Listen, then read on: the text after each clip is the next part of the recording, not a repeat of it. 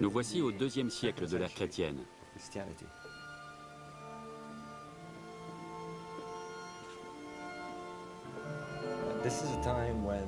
Nous sommes encore à une époque où le christianisme n'a pas défini son iconographie, ses symboles, ni même son mythe.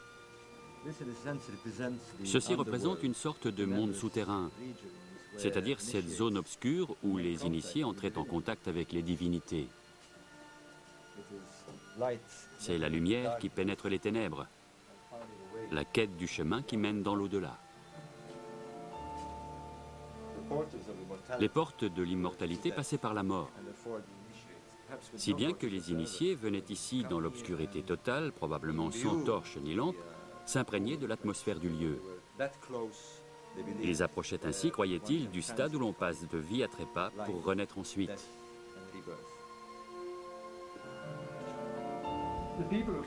Les gens qui venaient ici étaient des premiers chrétiens, mais ils faisaient le lien entre les cultes des mystères de l'Égypte ancienne et la religion gnostique. On voit Anubis, on voit des premiers chrétiens accomplir les rites de l'Égypte ancienne.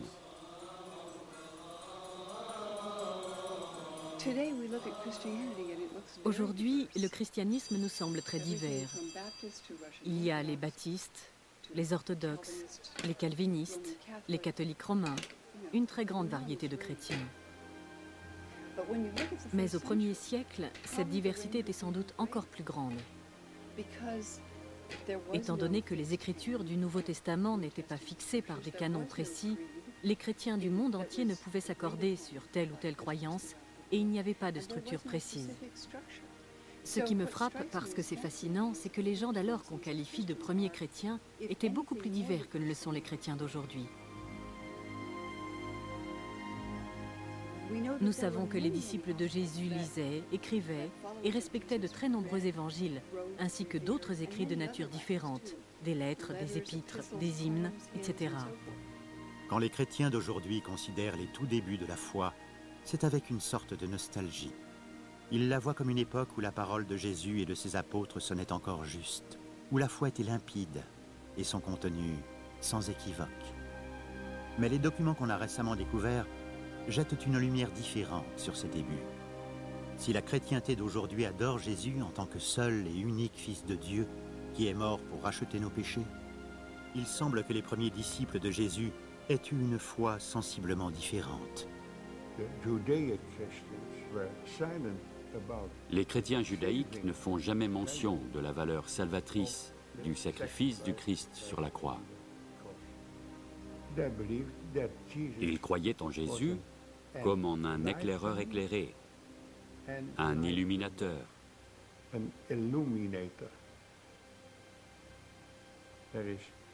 Il n'y a ni Immaculée Conception, ni résurrection, ni croix. Il n'y a que la parole de Jésus, qui est l'incarnation de la sagesse divine.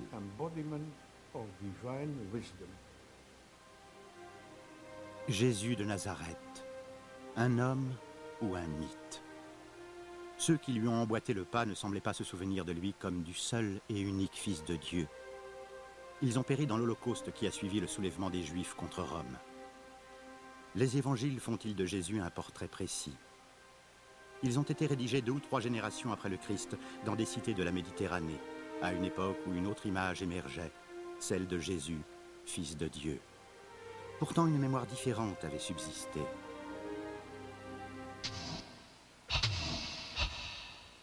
Nous voici au Moyen Âge, dans le sud de la France.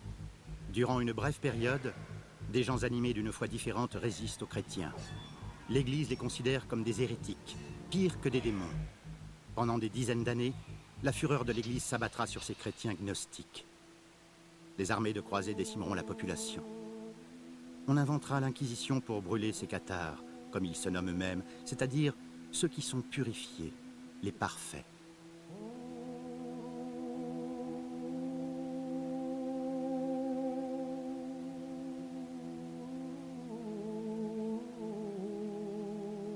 Bien des siècles plus tard, les gens se souviennent des cathares et visitent les lieux où ils ont souffert.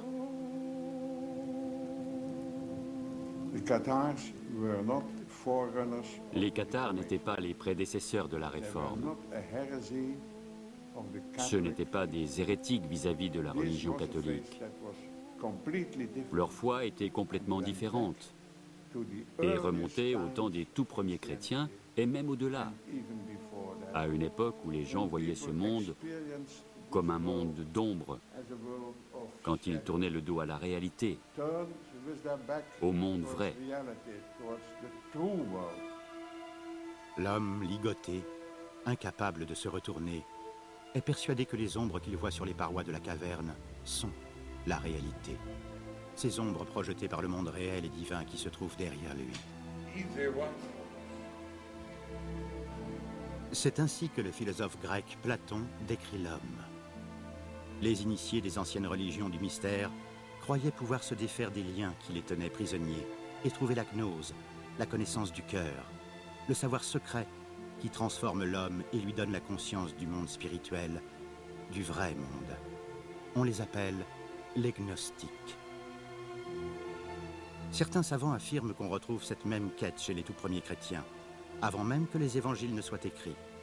Dans les discours de Paul qui parlent de trouver le Christ en nous-mêmes, et dans d'autres documents anciens, découverts il y a 60 ans à Nag Hammadi en Égypte.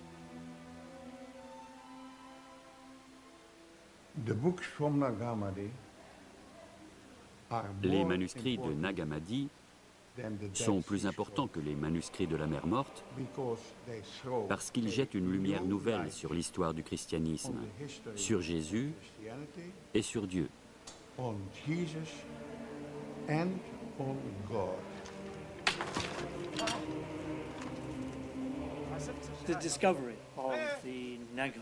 La découverte des manuscrits de Nag Hammadi par deux paysans égyptiens a complètement bouleversé notre vision des premiers chrétiens. Nous avons 52 manuscrits nouveaux qui nous parlent d'eux. Ils proviennent sans doute d'un monastère chrétien établi en Égypte. Ces manuscrits ont été enterrés pour éviter qu'on ne les brûle lors d'un autodafé aux alentours du IVe siècle.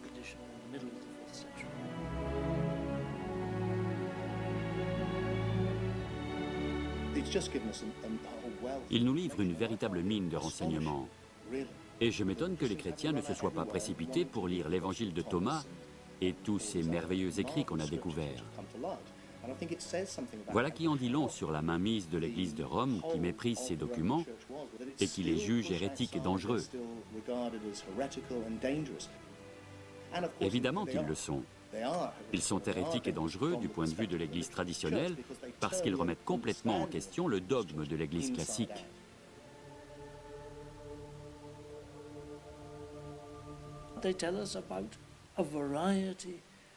Ils nous décrivent toute une variété de moyens par lesquels les gens croyaient pouvoir assurer leur salut, par la contemplation, par la propagation de l'étincelle divine qui se trouve en chacun de nous.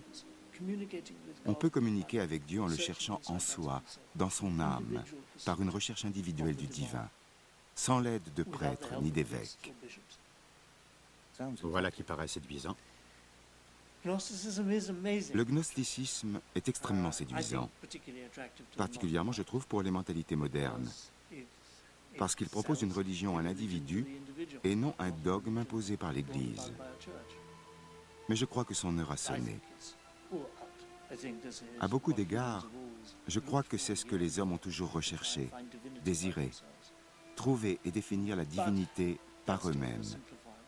Mais je simplifie à l'extrême parce que c'est extraordinairement compliqué. C'est un peu comme si on se trouvait dans un bain de mousse avec des milliers de bulles de savon dans les yeux.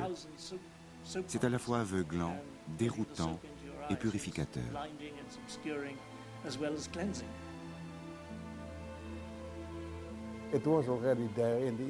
Tout est déjà là dans la religion égyptienne qui dit que l'homme, après la mort, devient Osiris et s'intègre à la divinité.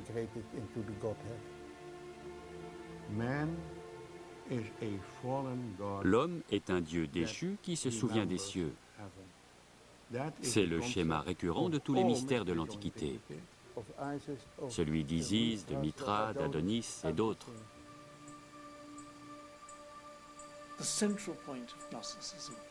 Le principe fondamental du gnosticisme c'est que chacun de nous naît avec en lui une étincelle divine et que le devoir du croyant consiste à trouver cette étincelle et à l'activer pour entrer en contact avec Dieu en regardant lui-même. La gnose. Gnose signifie connaissance de soi. Qu'est-ce que la connaissance de soi? L'extase? Une sorte de psychanalyse? De quoi s'agit-il? Il est très difficile d'expliquer ce qu'est la connaissance de soi et la façon de l'acquérir. Ce n'est pas, comme la psychanalyse, une exploration intellectuelle de la psyché. Ce n'est pas l'extase. C'est une contemplation paisible et solitaire de ce qu'on est, parfois avec l'aide d'un maître. C'est se demander comment Dieu nous a créés, à quoi il ressemble. C'est une exploration à la fois apaisée et individuelle de soi-même.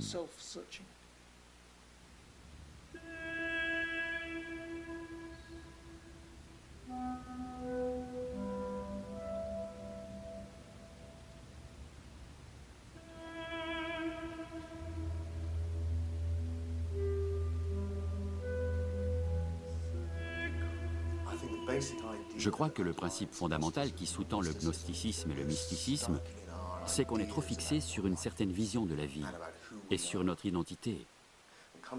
Or, le simple fait de descendre dans ce genre de lieu bouleverse totalement votre mentalité habituelle. Vous vous trouvez face à face avec ce qui est sans doute le plus grand mystère, la mort, l'idée que vous cesserez d'exister sous une forme physique. Et cela bouscule vos pensées et vous place directement devant l'absolu mystère, celui de l'origine de toute chose, celui de notre identité et de notre nature, celui de l'existence.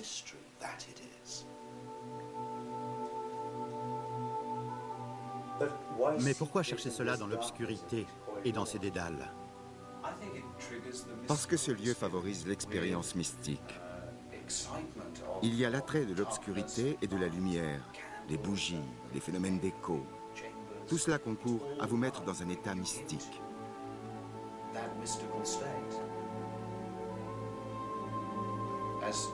Aristote a dit à propos des mystères, vous n'allez pas dans ces lieux pour apprendre quelque chose, mais pour faire une expérience. Considérer cela uniquement comme une démarche intellectuelle, c'est faire fausse route. Il s'agit d'une expérience beaucoup plus riche.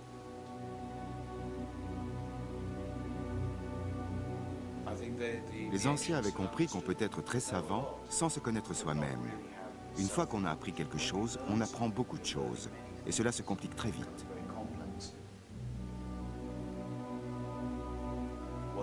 Les anciens cherchaient à quitter la multiplicité des choses la connaissance de beaucoup de choses pour parvenir à la connaissance d'une seule chose, l'unicité de toute chose. Durant près de 2000 ans, la gnose a été persécutée. Tout ce qu'on sait d'elle, ce sont les imprécations que lançaient contre elle les pères de l'Église. Mais la découverte faite à Nag Hammadi en 1945 changera pour toujours notre vision des origines du christianisme.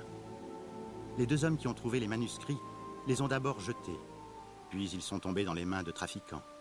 Certains ont été brûlés, mais pour finir, ils ont été récupérés par la science. Remercions Gilles Quispel qui est tombé sur le plus important, quelque part en Europe, et qu'il a apporté à son ami le grand psychologue Carl Jung. Je me suis rendu en Égypte, au Caire. Et dans cette pièce, j'ai négocié avec le directeur de cette institution et je me suis aperçu qu'on ne pourrait pas faire sortir ces manuscrits, à moins que le codex de Jung ne soit rendu au musée copte du Caire.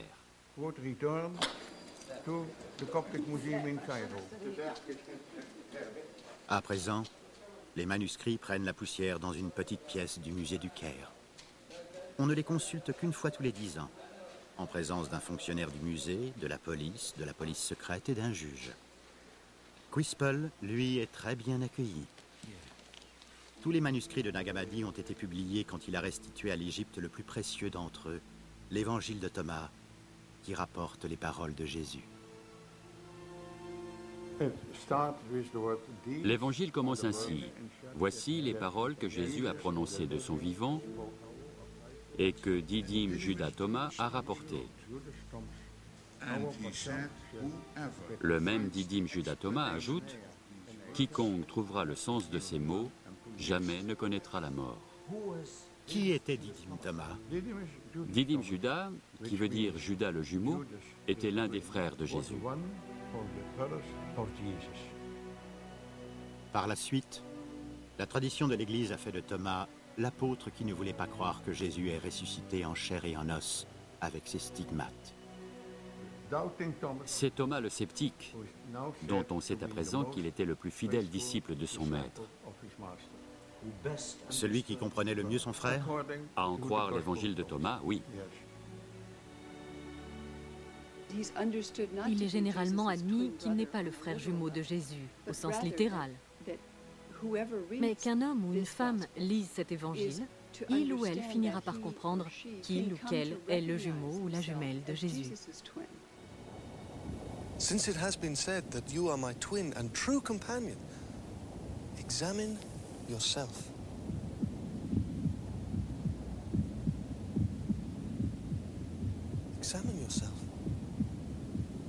You may understand who you are.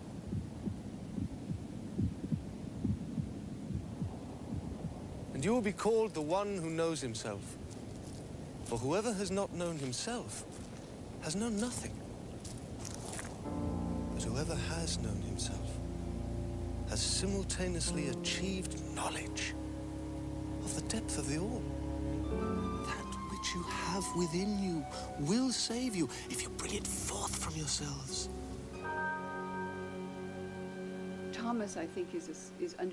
Je crois que Thomas veut nous faire comprendre symboliquement que celui qui veut voir Jésus en vient à se considérer comme le jumeau de Jésus, celui qui est créé comme lui, à l'image de Dieu. Que dit l'évangile de Thomas?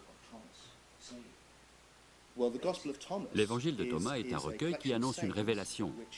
Ce qu'il dit révéler, c'est ce qu'aucune oreille ne peut entendre. What no hand has touched and what has never occurred to the human mind. De quoi s'agit-il Tout simplement de nous-mêmes. C'est nous que nous ne pouvons ni voir ni entendre, notre essence, notre conscience. Et je crois que c'est crucial si l'on veut comprendre le but recherché par le christianisme ou le paganisme. Il s'agit d'un voyage vers la découverte de soi-même. C'est la grande injonction que le dieu Apollon lance aux païens à l'oracle de Delphes. Connais-toi toi-même. Même chose chez les chrétiens. Ce qu'ils cherchent, c'est cette part de nous qui ne peut pas mourir. Il ne s'agit pas de recevoir quelque chose qui nous manque, mais de découvrir que nous sommes d'ores et déjà immortels, parce que notre essence n'est pas corporelle.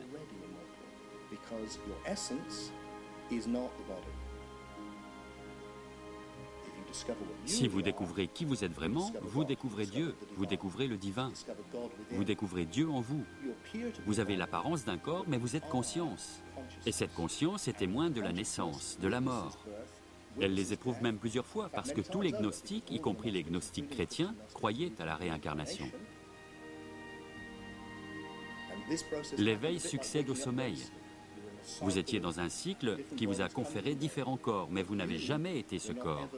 Vous étiez la conscience, le témoin, si bien que n'étant jamais né, vous ne pouvez jamais mourir. Toutes les choses sont l'expression d'une seule, si bien que tous les êtres humains sont des images, ou des eidolon. Ce sont des images d'un seul daemon, ou esprit. Une réflexion du divin? Non, pas une réflexion du divin, mais le divin devenu conscient de lui-même. Pour désigner le Père, ils utilisent l'expression d'éblouissante obscurité. Peut-on imaginer une lumière qui ne se reflète sur rien? Ce sont les ténèbres. Donc la lumière par elle-même est obscurité, d'où l'expression éblouissante obscurité. Pure potentialité, rien que de la lumière, rien que de la conscience, sans rien dont elle puisse avoir conscience. Quand se crée quelque chose dont on peut avoir conscience, quand la lumière trouve quelque chose à réfléchir, l'univers commence à exister.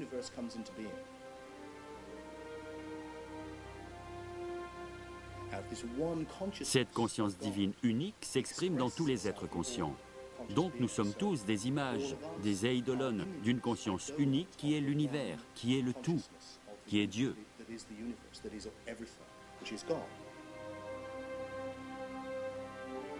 Le mythe chrétien tel qu'il nous est donné insiste bien sur l'abîme qui sépare l'homme de Dieu. Dieu, c'est Dieu. Nous ne sommes que des mortels.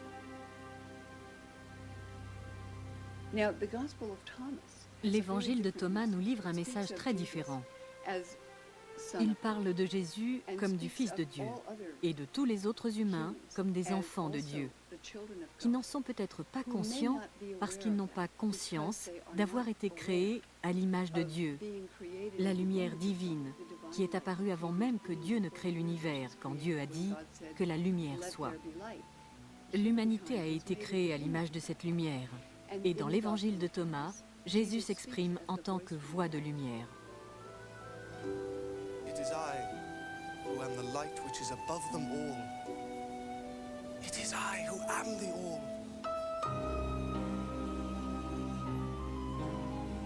Je suis le tout.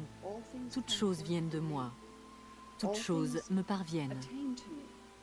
Fendez un morceau de bois. J'y suis. Soulevez ce roc et vous m'y trouverez.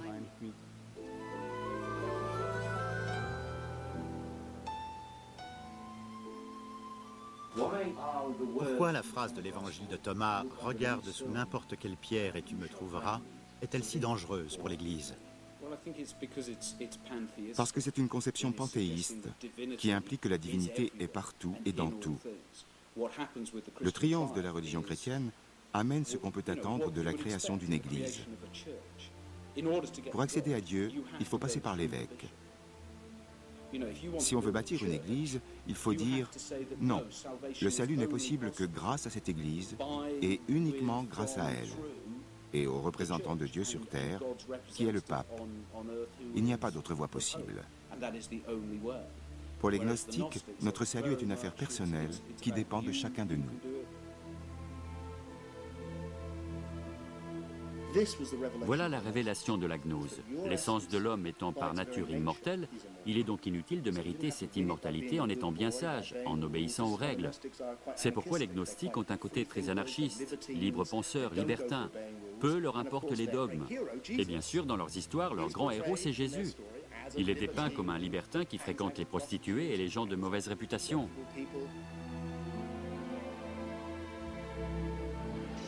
Il enfreint les règles, il n'observe pas le Shabbat.